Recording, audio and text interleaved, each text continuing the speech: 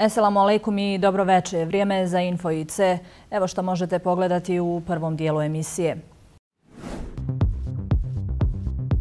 Održana 44. redovna sjednica općinskog vijeća Kakanj.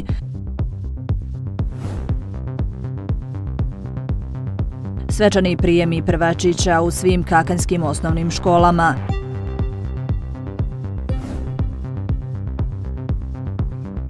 Vozači oprez, počela je nova školska godina.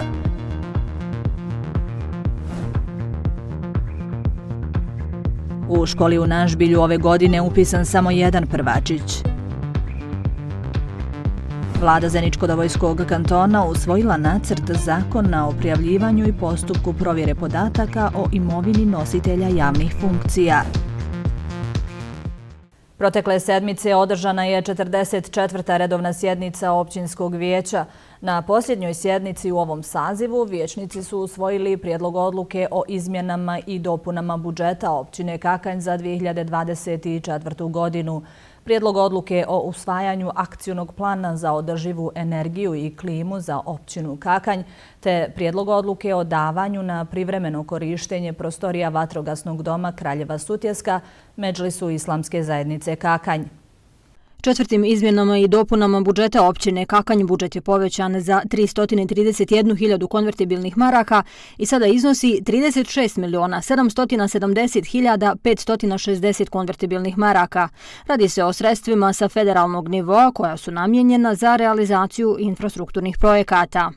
Radi se o projektima za rekonstrukciju toplovoda u iznosu 200.000 maraka i kanalizacije Vrbice uz Gošći u iznosu 131.000 maraka. To, ta dva projekta i ti iznosi su uvršteni u budžet i nadamo se da ćemo i sredstva dobiti u skorije vrijeme kako bi se mogla procedura javne nabavke provesti i utrošiti ova sredstva. Uz rebalans usvojeni su i izvještaj o izvršenju budžeta općine. Kakanj te izvještaj o izvršenju tekuće budžetske rezerve za prvih šest mjeseci ove godine? Mi možemo biti zadovoljni prihodima oni su normalno, jedan dio prihoda uvijek se ne realizuje, to zavisi od viših nivoa vlasti, kantonalnog, federalnog, da li će sredstva doći na vrijeme i onih obveznika koji imaju uh, uplatu poreza i naknada prema budžetu općini Kakanj i od tog zavisi realizacija budžeta tako da se nadamo da će budžet biti realizovan u velikom procentu do kraja godine. Vječnici su na današnjoj sjednici usvojili i predlog odluke o usvajanju akcionog plana za održivu energiju i klimu za općinu Kakanj. Radi se o strateškom dokumentu koji podrazumijeva mjere i aktivnosti koje će biti usmjerene na poboljšanje energetske efikasnosti i smanjenje emisije CO2. Ujedno je isti i preduslov za apliciranje na javne pozive međunarodnih fondova koji se odnose na energetsku efikasnost.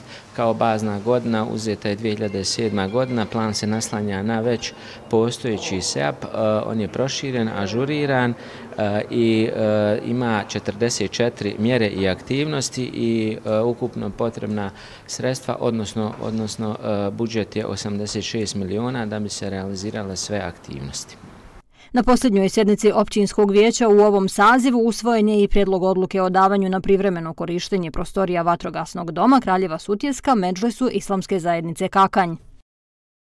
U povodu početka nove školske 2024-2025. godine u svim osnovnim školama na području općine Kakanj upriličen je svečani prijem za učenike prvih razreda.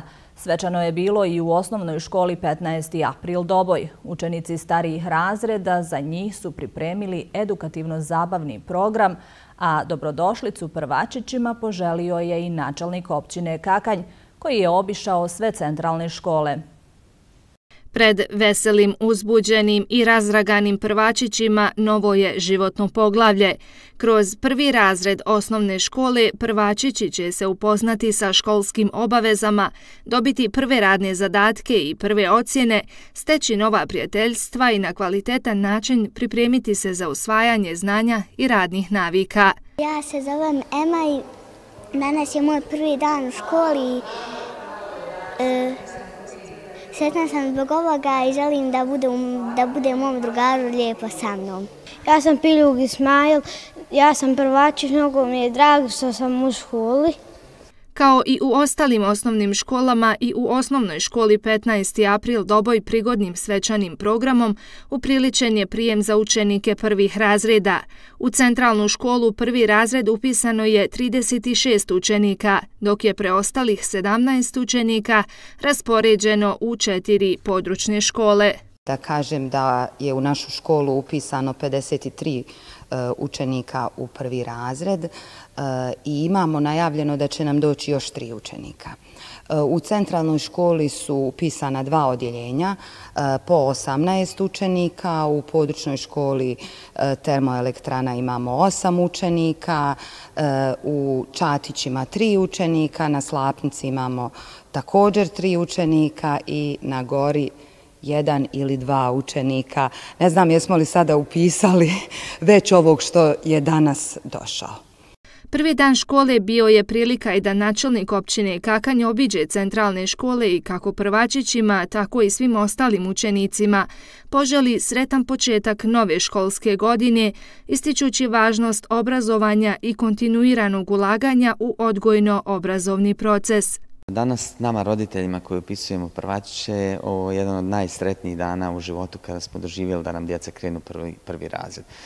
Poruka koju želimo poslati jeste to je reci prije svega da slušaju svoje učiteljice i učitelje, da slušaju svoje roditelje kod kuće i da budu što bolji drugovi i drugarice svojim kolegama u klupama i u razredu to je univerzalna, ali ujedno i najbolja poruka. Biće i lijepi trenutaka, biće i manje lijepi trenutaka, biće i smješka, biće i ljutka, biće i dobrih i loših ocjena, ali prijateljstvo koje treba da oni ovdje steknu zajedno sa svojim prosjetnim radnicima je nešto što je najbitnije, što će i danas sutra oblikovati da budu uspješni ljudi i na kraju krajeva da nastave e, raditi one poslove kojima možda danas mi radimo, da nastavimo bolji i ovaj, ljepši život u našem gradu. Iako se zadnjih godina bilježi blagi pad djece upisane u prve razrede ove godine, situacija je nešto drugačija, odnosno osjetno je blago povećanje učenika prvih razreda. Najviše učenika od njih 392 kao i ranijih godina upisano je u gradskim školama. Zbog povećanog prisustva djece na ulicama, na početku nove školske godine vozači se pozivaju na dodatni oprez. Iz policijske stanice Kakanj naglašavaju da će u narednom periodu policijski službenici poseban akcenat staviti na pitanje sigurnosti djece pješaka, odnosno učenika. Povećano prisustvo djece zabilježeno je danas na Kakanjskim ulicama. Počela je nova školska godina i važno je i da svi učesnici u saobraćaju, a posebno vozači, budu posebno oprezni. Kako bi se stepen sigurnosti svih učesnika u saobraćaju podigao na veći nivo s akcentom na sigurnost djece, policijski službenici policijske stanice Kakanj poduzimat će i dodatne aktivnosti. Obzirom da je počela nova školska godina, policijski službenici policijske stanice Kakanj poduzimaju niz mjera i aktivnosti u stvaranju optimalnog bezbedonosnog ambijenta u blizini osnovnih i srednjih škola. U cilju stvaranja što većeg nivoa bezbjednosti učenika o saobraćaju ovom prilikom apelujem na građane, a naročito na vozače da obrate posebnu pažnju na kretanje učenika pored kolovoza i na samom kolovozu, te da brzinu kretanja svojih vozila u blizini škola prilagodi uslovima i stanju kolovoza, gustini saobraćaja i drugim saobraćajnim uslovima, kako bi na vrijeme mogli reagirati i zaustaviti svoje vozilo u slučaju potrebe, čime će izbjeći teže posljedice po učenike. Iz policijske stanice Kakanj pozivaju sve građane naše lokalne zajednice na dodatni oprez u saobraćaju, bilo da se radi o pješacima ili vozačima. Samo zajedničkim djelovanjem moguće je praviti sigurno okruženje i samo je na taj način moguće obezbijediti učenicima siguran put od kuće do škole i nazad. Također, vozači trebaju da budu svjesni da su djeca najugroženija u saobraćaju zato što ne poznaju saobraćajne propise. Zbog nižeg rasta nemaju dobru preglednost, a samim time su slabije uočljivi na putu. Zbog dječje razigranosti pažnja im je usmjerena na druge stvari, a ne na saobraćaj i ne mogu prepoznati opasnu situaciju prilikom kretanja na putu. Budite e, svojoj djeci primjer dobrog ponašanja u saobraćaj, jer ste vi uzor vašem djetetu. Policijski službenici će u narednom periodu vršiti pojačane kontrole i regulisanje saobraćaja ispred i u blizini škola, te će se poduzimati i preventivne i represivne mjere, a sve s ciljem bezbjednog kretanja učenika. U kakanjskim selima u kojima se nalaze područne škole iz godine u godinu sve je manje učenika. Trend odlaska mladih porodica sa djecom nije zaobišao ni mjesnu zajednicu Nažbilj, u kojoj je ove godine u prvi razred osnovne škole upisana samo jedna učenica. Područnu školu pohađa ukupno šest učenika, a nastava se odvija u trokombinovanom odjeljenju. Ajna Sarać jedini je prvačić u područnoj osnovnoj školi Omer Mušić u Nažbilju. Učionicu dijeli sa učenicima starijih razreda, obzirom da se nastava u ovoj školi izvodi u trokombinovanom odjeljenju. Ajni to nije problem obzirom da ima priliku više naučiti i brže napredovati u odnosu na učenike koji nastavu pohađaju uporedo sa svojim vršnjacima. Idem u prvi razred. Jedini sam prvačić u ovoj školi. Imam starije drugare kojima se družim. Jedan učitelj, jedna tabla i tri generacije najbolje opisuju trenutno stanje ove škole koja ima dugu tradiciju i koju je nekada pohađalo više odjeljenja učenika. Sada ovih šest učenika zajedno sa dugogodišnjim prosvjetnim radnikom Marinkom uče, rade i grade neraskidive veze pune topline i međusobnog razumijevanja. Dobro mi je u školi. Učitelj Mariko se trudi kako nas uči. Idem ovde već četiri godine u školu, baš se dobro svi slažemo. Imam prijatelja, prijateljica, učitelj nas puno uči toga i puno volim ovde ići. U područnim školama koje su opstale, poput ove u Nažbilju, bez obzira na otežane uslove rada, nemjerljiv je trud i doprinos prosvjetnih radnika u odgojno-obrazovnom procesu i postizanju dobrih rezultata. U područnoj školi Nažbilj radim 15 godina. Dolaskom prije 15 godina djece je bilo više, bilo je od 12, 15, e, kako su godine prolazili, broj učenika se smanjio. Trenutno radim u trokombinovanom odjeljenju. U prvom razredu ima jedna učenica, u trećem dva učenika i u petom razredu tri učenika. Rad u kombinovanim odjeljenjima nije baš jednostavan. S obzirom, jel, kad to radite godinama i kad volite svoj poziv, dođete do rezultata, što vam je i cilj jel, u životu, da budemo i mi zadovoljni, i djeca, i roditelji. S ciljem poboljšanja obrazovnog procesa i boravka učenika u ovoj školi u proteklom periodu uz pomoć Resornog kantonalnog ministarstva realizovan je projekat rekonstrukcije školskog objekta. Na taj način učenicima i njihovom učitelju omogućeno je da borave u ugodnom i kvalitetnom školskom ambijentu kakav imaju i druge osnovne škole na području općine Kakanj. Mi se nadamo i molimo da Boga da taj broj bude toliki i veći bar, da ne bude došlo do, do stagnacije ovog broja učenika, kako bi ovaj lijepi kraj, ovo lijepo selo ostalo i dalje da živi i da se čuje e, graja dječja, graja učenika koji dolaze i odlaze odavde iz škole. Da kažem da učenici ove škole koji dolaze iz sela Bastašić i Lipsa imaju plaćen prevoz do škole i nazad, to plaća vlada Zaničko-Dobrovska kantona, to je ministarstvo obrazovanja. Kad smo već kod tih eto, ulaganja koje vlada Zeničko-Dobrovskog kantona radi. Evo i ove godine svjedoci smo ovdje da je, da je bilo ulaganja negdje u krajem prošle kalendarske godine, novembar, decembar, u rekonstrukciji ovog školskog dijela zgrade. Upravo mali broj učenika koji pohađa ovu školu pokazatelj je koliko je porodica napustilo ovo područje.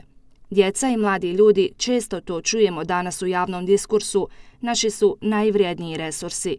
Međutim, u našim selima sve ih je manje. Vlada Zeničko-Dobojskog kantona je na posljednjoj sjednici usvojila nacrt zakona o prijavljivanju i postupku provjere podataka o imovini nositelja javnih funkcija, te prijedlog izmjena i dopuna zakona o visokom obrazovanju Zeničko-Dobojskog kantona. Borba protiv korupcije te transparentno trošenje javnog novca jedan je od prioriteta vlade Zeničko-Dobojskog kantona, podsjetio je kantonalni premijer. Naglasio je da su već učinjeni značajni koraci u tom pogledu, uspostavljeni određeni registri, a iz novog zakona o prijavljivanju i postupku provjere podataka o imovini nosioca javnih funkcija će proizaći još dva registra. Moram istaći da je e, donošenje ovog zakona isključivo urađeno domaćim resursima, da nismo imali neku posebnu podršku međunarodnih organizacija, nevladnih organizacija, a svjesni ste da u drugim kantonima su i nevladne organizacije i međunarodne organizacije davale izuzetnu podršku takvim projektima. Naše opredjeljenje je da to radimo za naše građane, smatramo to izuzetno važnim da se vraća povjerenje e, građana u nosioce javnih funkcija i zato ćemo nastaviti u tom pravcu i sa uspostavom također novih registara, a i naravno očekujemo jednu jasnu podršku i Skupštini, odnosno jednoglasnu podršku Skupštini Zeničko-Dobojskog kantona kada su ove stvari u pitanju. Kada je u pitanju zakon o visokom obrazovanju, zakon je poboljšan te se usvojenim izmjenama uvodi veća odgovornost u pogledu finansijskog utroška sredstava, što i jeste najznačajnija izmjena ovog zakona. Vodili smo računa da e, osiguramo autonomiju, e, samostalnost univerziteta u Zenici, akademske slobode koje smo prepustili i ostavili da to bude u domenu Senata, a da finansijski faktički izveštaj ocjeni upravni odbor i to je možda i najvažnija, najvažnija izmjena koja se, koja se odnosi na ovaj prijedlog izmjena zakona o visokom obrazovanju.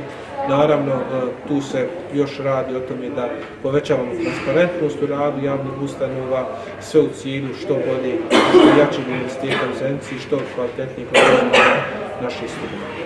Vlada je donijela odluku o raspodjeli prehrambenih proizvoda i proizvoda za higijenu socijalno ugroženim kategorijama stanovništva sa područja Zeničko-Dobojskog kantona u vrijednosti od 179.000 konvertibilnih maraka, a koji će preko lokalnih centara za socijalni rad biti distribuirani građanima.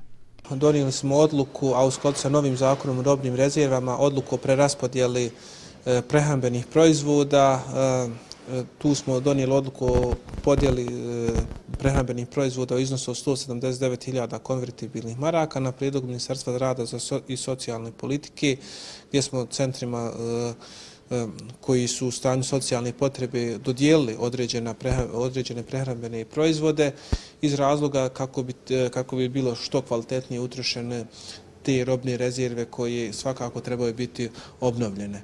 U okviru poticaja poljoprivredi izdvojeno je 302.000 konvertibilnih maraka, a za liječenje i pomoć u rješavanju stambenih pitanja dodatnih 59.000. Na osnovu usvojenog rebalansa budžeta Zeničko-Dobojskog kantona za ovu godinu kantonalnoj bolnici Zenica dodijeljeno je dodatnih 600.000 konvertibilnih maraka, od čega će polovica biti utrošena za izradu idejnog rješenja nove zgrade kantonalne bolnice Zenica, a druga polovica za nabavku uređaja za liječenje pacijenata. Pratite Info IC u nastavku, pogledajte.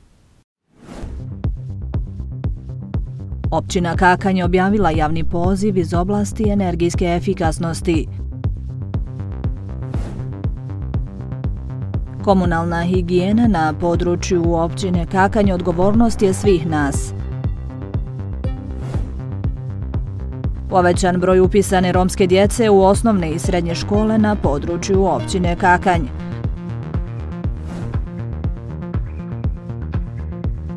U toku su prijave za trku šetnju za ozdravljenje.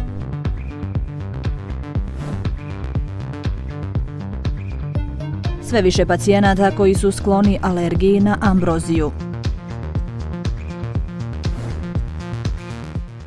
Općina Kakanje objavila je javni poziv za dodjelu sredstava za sufinansiranje mjera poboljšanja energijske efikasnosti i smanjenja aerozagađenja na području općine Kakanj. Na javni poziv za koji je iz budžeta općine Kakanj opredjeljeno 100.000 konvertibilnih maraka mogu se javiti fizička lica, odnosno vlasnici individualnih stambenih i stambeno-poslovnih objekata na području općine Kakanj. Pod mjerama poboljšanja energijske efikasnosti i smanjenja aerozagađenja koje su predmet javnog poziva, Podrazumijeva se sufinansiranje nabavke i ugradnje toplotnih pumpi, nabavke i ugradnje kotlova sa isključivim pogonom na drvnu biomasu, peći na pelet te utopljavanje objekata u vidu nabavke i ugradnje materijala za izolaciju, vanjskih zidova i tavanica objekata. Pa općinsko vijeće je u 2024. godini usvojilo program utroška sestava kojim je planirano da jedan dio sredstava stotinjak hiljada konvertibilnih maraka opredelimo za mjere sufinansiranja, nabavke i zamjene peći na ugalj sa pećima na pelet ugradnju toplotnih pumpi ili utopljavanje stambenih objekata, stambeno-poslovnih objekata. Evo javni poziv je raspisan, čini se za toplotne pumpe neki 3000 konvertibilnih maraka, peć na pelet do 2500 i utopljavanje do 2000 konvertibilnih maraka. Naravno po određenim uslovima koje trebaju, trebaju aplikanti ispunjavati u smislu objekata, građevinske dozvole, obraničke upotrebne dozvole. Predmet prijava na ovaj javni poziv mogu biti individualni stambeni i stambeno-poslovni objekti koji se ne nalaze u zoni toplifikacije i za koje se ne može osigurati nadležna saglasnost javnog preduzeća grijanje za priključenje na sistem daljinskog grijanja, jer je cilj ovog javnog poziva ušteda električne energije u domaćinstvima koja za zagrijavanje svojih objekata koriste ugalj i drvo.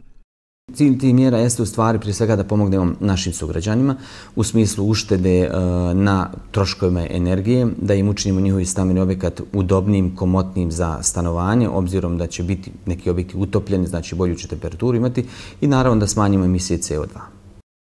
Analizu prijava na javni poziv vršit će Komisija za provođenje postupka imenovana od strane općine Kakanj.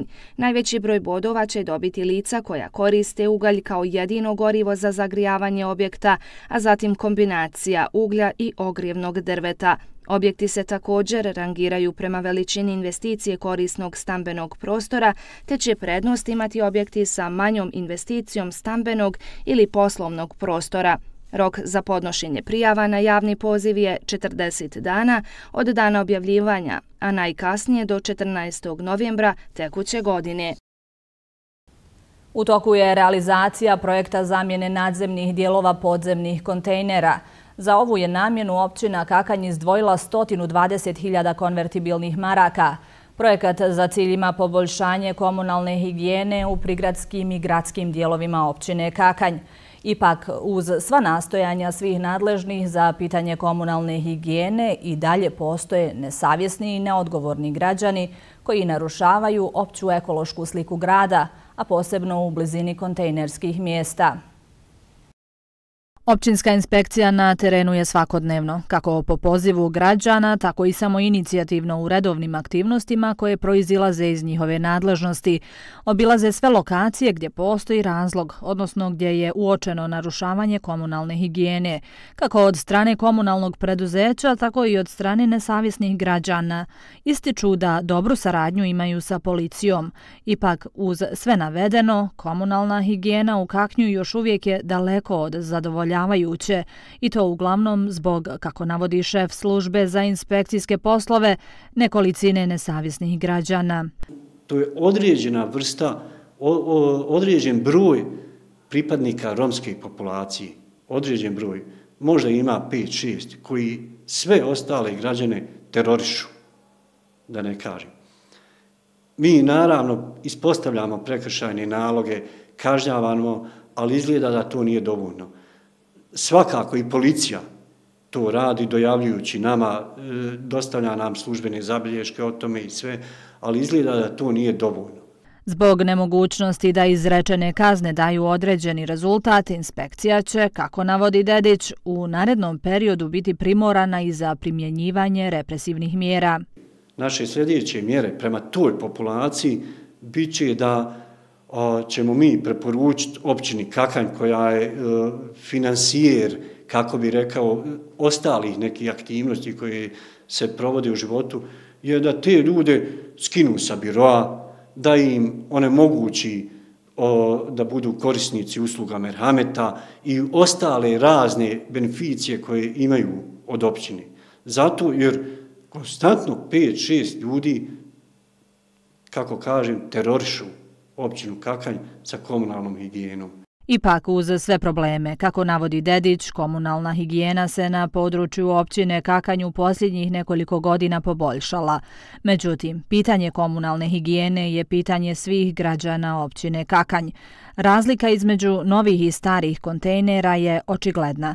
Hoće li Kakanj ipak u nekoj skorijoj budućnosti biti primjer ekološki osvještenih građana ili će nesavjest nadvladati, ostaje da vidimo. Kroz realizaciju različitih projekata, lokalne zajednice i BH institucije te međunarodne organizacije bave se uključivanjem Roma u društveni sistem s akcentom na obrazovanje. Ovakvi projekti na području općine Kakanj rezultirali su povećanjem broja djece upisane u osnovne i srednje škole, poručuju iz organizacije Centar za podršku Roma Romalen Kakanj. Obrazovanje Roma jedan je od najvažnijih koraka njihovog integrisanja u društvenu zajednicu. Centar za podršku Roma Romalen Kakanju saradnji sa općinom i nevladinim organizacijama kroz realizaciju različitih projekata nastoji uključiti što veći broj djece u obrazovni sistem. Kod 2013. godine kada je aktivno Centar za podršku Roma Romalen Kakanj krenuo sa obrazovanjem i uključivanjem većeg broja djece u obrazovni sistem, smo tu brojku nekako podigli na trenutni broj oko 130 do 140 romske djece koji je uključeno u osnovno obrazovanje. Međutim, imamo neke podatke gdje imamo trenutno najveći broj uključene romske djece u srednje obrazovanje, a to je 18 djece romske populacije. Međutim, kad kažemo da, osam, da je to 18, to se ne čini baš nekim velikim brojem, ali ono što je za romsku zajednicu u prethodnom periodu bilo, to je bilo 1, 2, 3, 5, najviše, a nekad ni jedno romsko dijete. Do unazad nekoliko godina rijetki su bili oni koji su završavali osnovnu školu i upisivali srednju, smatra Fafulić. Međutim, zahvaljujući različitim podrškama šire društvene zajednice, a prije svega razvijenoj svijesti roditelja o obaveznosti upućivanja djeci u proces obrazovanja, situacija je danas mnogo drugačija. U novu školsku godinu upisana su sva djeca koja ispunjavaju uslove za početak osnovnog obrazovanja. Prošle godine je bilo 20 djece je upisano u prvi razred osnovne škole i toliko ih je prispjelo za prvi razred osnovne škole. Ove godine ih je 12 prispjelo za prvi razred osnovne škole i svih 12 je upisano. Prije je bilo nekad, evo kažemo, 2013. 14. 15. 17. i po 30 kojih su prispjeli, a od toga se upiše 8. Međutim, mi sad imamo kontinuitet da pratimo djecu, da svako djete prođe 100, 180 sati obaveznog preškolskog odgoja i obrazovanja. Ukoliko se to ne desi iz nekog razloga, onda mi održavamo radinonce, angažujemo profesora preškolskog odgoja i obrazovanja, da prođe ciklus tih uh, uh, obaveznih 180 sati preškolskog odgoja i obrazovanja, izdajemo, mi izdajemo potvrdu kako bi dijete se moglo upisati u prvi razred osnovne škole.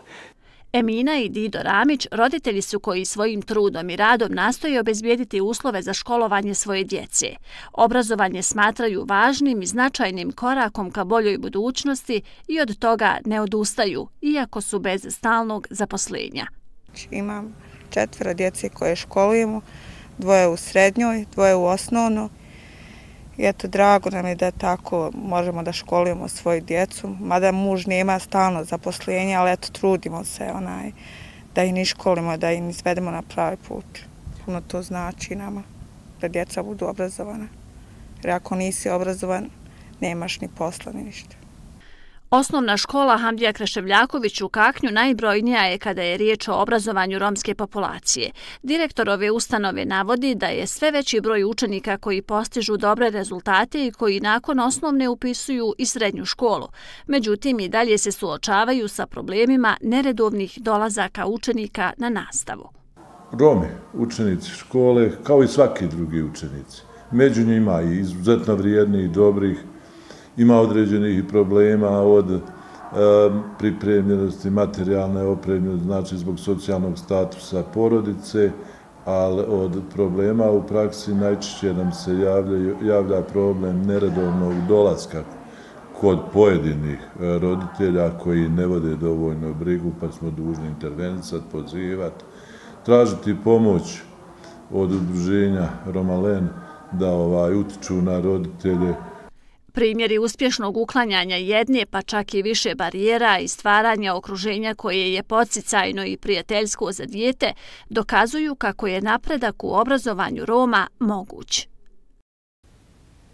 Udruženje Ona je svjetlost počela je sa registracijom svih zainteresovanih građanki Kaknja za najveće društveno odgovorne događaje u Bosni i Hercegovini, trku šetnju za ozdravljenje, Race for the Cure. Na ovoj manifestaciji svake godine učestvuje veliki broj učesnica iz Bosne i Hercegovine s ciljem da se ženama ukaže na brigu o zdravlju koje bi im trebalo biti na prvom mjestu. U 20 bosansko-hercegovačkih gradova i općina, pa tako i u Kahnju, počela je zvanična registracija učesnica trke ili šetnje za ozdravljenje, koja će biti upriličena 29. septembra u Sarajevu. Učešće na ovom događaju i ove godine uzeće udruženje Ona je svjetlost iz Kaknja. Cilj trke je povećanje svijesti stanovništva o nužnosti ranog pregleda kao jedine prevencije karcinoma dojke, proslaviti život zajedno sa ženama koje su preživjele bolest, razbiti predrasude o ovoj bolesti i prikupiti sredstva da se obezbijede besplatni mamografski pregledi u ruralnim područjima Bosne i Hercegovine, paketi prve pomoći za svaku novooperisanu ženu, psihosocijalnu podršku te druge aktivnosti. Svoje učešće na ovom događaju mogu uzeti sve žene i na taj način pružiti svoju podršku onima koje vode borbe za ozdravljenje, poručuju iz udruženja.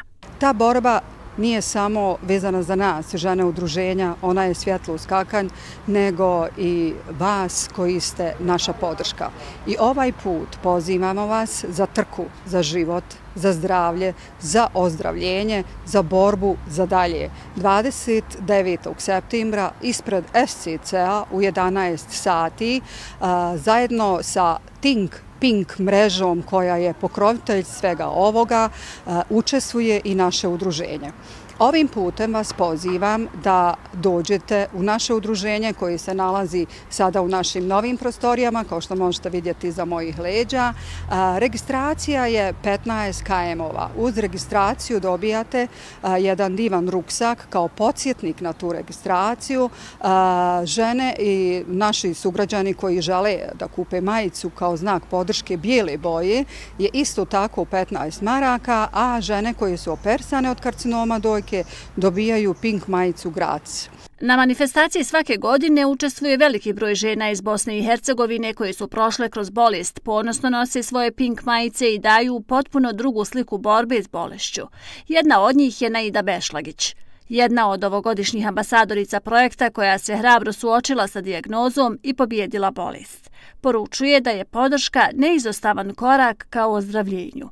Meni je zaista jedna velika čast i zadovoljstvo što sam dio ovakve priče i smatram da ovakve priče zaslužuju da budu eksponirane javno i da sve više i više pričamo o tome. Zaista mi je drago što e, podižemo svijest kod žena i generalno kod ljudi u borbi protiv karcinoma, raznih karcinoma kod žena i kod ljudi. Ja sam jedan od ambasadora ove godine e, na trci Race for the Cure i zaista mi je veliko zadovoljstvo i čast da obzirom da sam i sama ovaj, prošla borbu sa karcinomom vrlo uspješno, hvala Bogu, ja sam danas dobro i e, znajući svog iskustva koliko je podrška zapravo važna i drago mi je što sam danas tu i što dijelimo sve ove lijepe stvari sa svim ženama.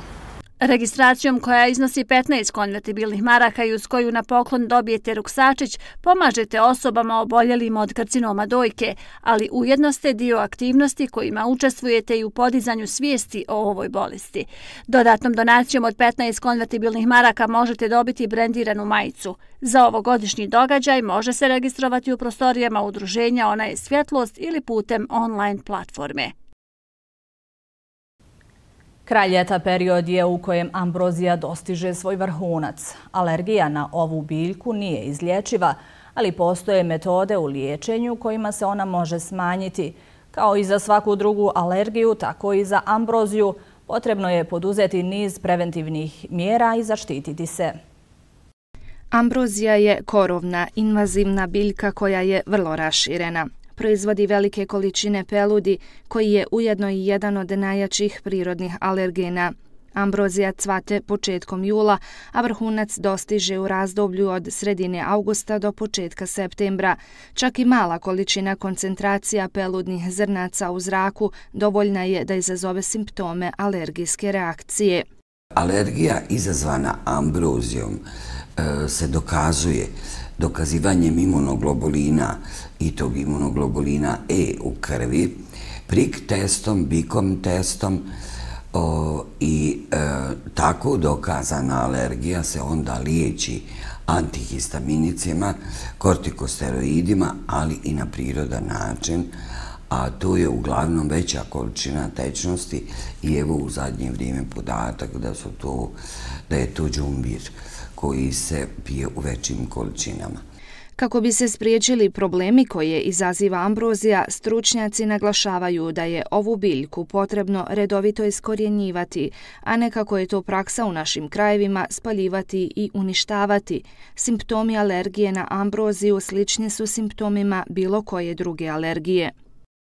Pelud je u stvari e, nešto što direktno djeluje na imunni sistem, E, tako da imunni sistem koji pojačano djeluje izbacuje veliku količinu e, medijatora alergije, odnosno histamine, koji onda izazivaju jako neugodne e, manifestacije u smislu svrbeža očiju i nosa, kihanja, svrbeža po tijelu i ako se spusti niže u pluća, naravno kašlja i napade gušenja, naročito kod e, bronhijalne gdje je već dokazana alergija. Na cesti su neophodne naočale, neophodne su eventualno maske kod onih koji znaju da su izloženi alergijama, kao i šešir ili marama da bi se zaštitili od e, prisutnosti alergena. Eh, u kući redovno zatvaranje prozora i eh, istresanje isušenog veša, kako se limunčići ne bi unijeli u kuću. Naravno, posjeta ljekaru obavezna, eh, dokazivanje alergija i pravilna terapija. Alergija na ambroziju je čest problem mnogih ljudi, jer se pelud biljke nekontrolisano širi, te samim time izaziva razne simptome. Osim lijekova za alergiju, pomoći mogu i prirodni preparati za ambroziju, kao i promjena životnih navika, istakla je doktorica Balorda. Pratili ste Info IC, hvala za pažnju i doviđenja.